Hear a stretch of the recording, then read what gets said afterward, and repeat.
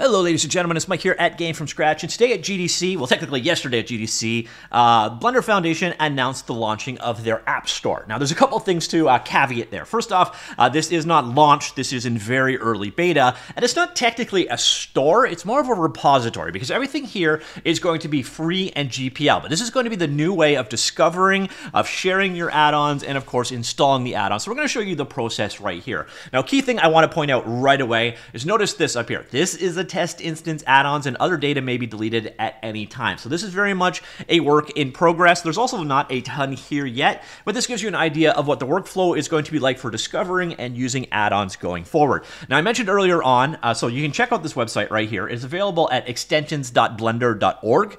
Uh, again, it is very much still under development. The other part of under development that you're going to be interested in is you need to use Blender 4.2. Now, as of the time of this recording, Blender 4.2 is currently in alpha. You can grab it from the daily build site. If you watch this at some point in the future, hopefully this is all built in and you don't need to go through any of these steps. But otherwise, well, there are some steps involved. So let's head on over to Blender. There you go. So this is Blender 4.2 alpha. First thing I'm going to do is gratuitously sacrifice this cube. All right, now let's go ahead and set it up. If you want to go ahead and check this guy out, again, get Blender 4.2 go to Preferences, and then in the main section right here, what you're going to want to do is turn on Developer Extras. What that does is it turns on this experimental tab down here, and then once you have done that, go on in here, and now you're going to look for the new store which is available down here as extensions. Also notice there's also this development utilities. I think that is if you're uh, working on it or you're publishing to it, but there's not of interest to you right now. That's the key part that you need to enable right there. And then once you turn extensions on, you'll notice, bang, new tab over here for extensions.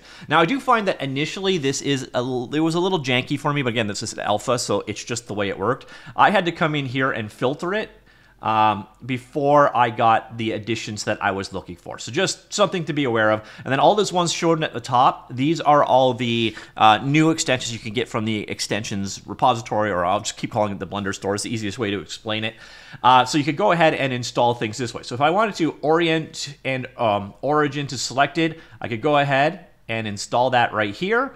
So we'll click the install, and then boom, it brings it down and installs it for you. So that's how the installation process is going to work in that regard. Uh, but this isn't your only option. By the way, you may need to do an additional setup. In, in the instructions, it says you do, uh, but I didn't actually have to. It's come in here and do a plus and add extensions.blender.org. For me, that was already configured, but you may need to come in and add that manually if it doesn't show up. But otherwise, your options are available here. By the way, another thing to be aware of when it comes to extensions, uh, there is no auto updating. So if you want to update your extensions, basically come in here, you check for the updates, and it will check for them all accordingly. This is actually a good move because sometimes updating extensions um, breaks a project, so auto updates is probably not ideal, but you are going to have to manually update them. But there is updating functionality in there. Uh, you can filter down between the extension types, so you could do, say, add-ons like the one we just enabled, or themes like so. So let's say we want to do Deep Dark Sea. Let's go ahead and install that guy right there.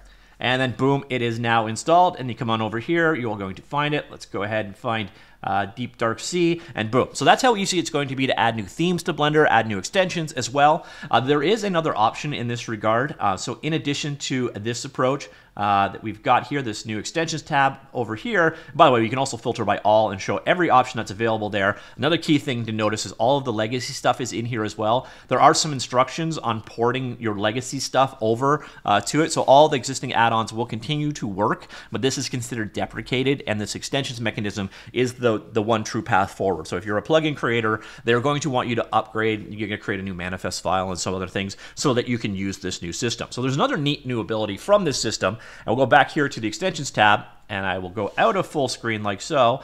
And what you do is let's pick a let's pick an extension I'm interested in. So let's say I'm, I'm interested in wireframe color tools like so. Uh, what I can do is if I want to get the add-on, so you can get details of the add-on itself, how many times it's been downloaded, the license that it's under, though I believe everything is going to be under GPL. Uh, and then I can go say I want to get this add-on, and then what it does is do this drag and drop. So then what I do is basically drag over to Blender like so and drop it in. And then what you're going to notice okay, is a bug. Let's go out of full screen so you can see it in action. So let's do it this way. All right, so back here and grab our, our guy over here. So we got the, uh, where did you go? Okay, here, drag and drop. It will automatically bring up the install extensions option, and then you can install and enable it right there. So this is the new way that extensions are going to be done. Uh, it is definitely an interesting uh, development. Again, uh, it is a little misleading to call it a store, I know, because quite frankly, nothing is being sold. But, uh, you know, Blender Asset Store just totally makes sense to me, at least. But it is actually the Blender extensions repository, I guess.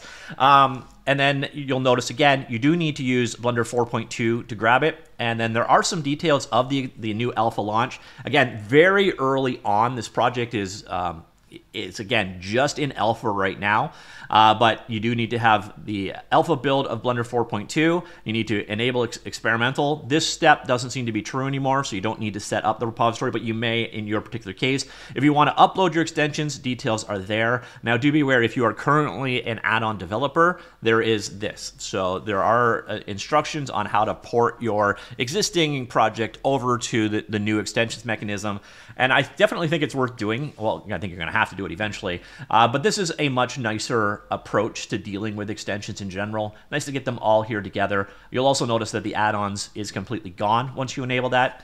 Uh, and again, there is the ability to filter down to just the things you're interested in. You do have updating functionality available over here, and you can still install uh, via zip or disk if you wish to do it the old school way as well. Uh, but it's, it's, a nice step forward. I like this. I'm curious to hear what you think of the, and I'll call it one last time, Blender Asset Store. Um, I also would love to see a commercial store uh, happen at some point in the future, but I'm curious, what do you think of that idea?